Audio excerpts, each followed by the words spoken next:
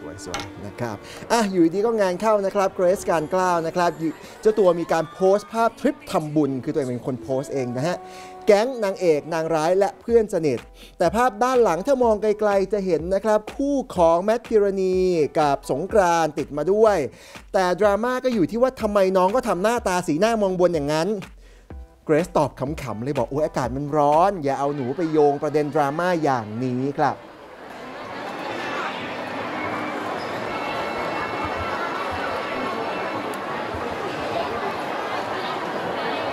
ด้วยกันถือเป็นงานบุญเนอะไม่ดราม่าไม่เอา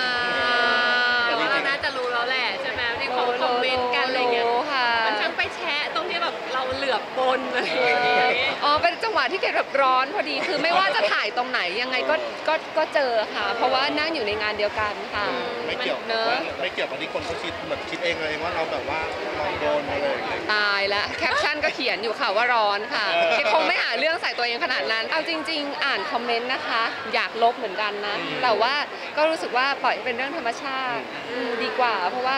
ยิ่งไปลบมันยิ่งแบบเป็นการ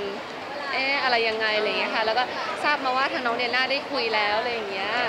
คุยเห็นในกลุ่มแล้วว่าเออมีการคุยแล้วอะไรอย่างเงี้ยค่ะ ก็เป็นงานบุญนะคะเออคุยหมายถึงอธิบายให้เขาเข้าใจว่า เอ้ยเราไม่ได้สื่อสารทางนั้นอะไรอย่างเงี้ยใช่ค่ะทางพี่จักรจันทร์อะไรอย่างเงี้ยค่ะอ่าที่ลงรูปติดเขาไปอะไรอย่างเงี้ยด้วยความที่เป็นงานบุญอะนะคะ เราก็ไม่ได้คิดว่าเขาจะดราม่ารวมถึงตามมาถึง IG ของเกรซซึ่งไม่ได้ไม่เกี่ยวไม่เกี่ยวอะไรเลยเออใช่ก็เลยงงนิดนึง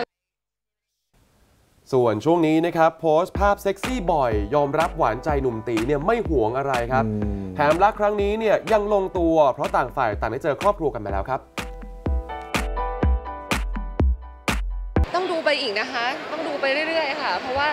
อะไรที่แน่นอนก็ไม่ค่อยแน่นอนเท่าไหร่อะไรอย่างเงี้ยแต่ถามว่าก็ตอนคนนี้ก็ค่อนข้างที่จะเข้ากันได้มากสุดนะคิดว่านะแต่คนนี้เหมือนเราจะไม่ได้ค่อยเห็นแบบหวือหวาออกสื่ออะไรอย่างใช่เงี้ยไม่ได้อยากแบบ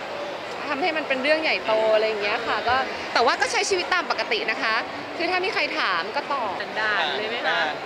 ต้องถามคุณพ่อคุณแม่ แต่ก็ผ่านนะ น่าจะผ่านนะเขาน่ารักค่ะเขาไม่ค่อยเกเรเท่าไหร่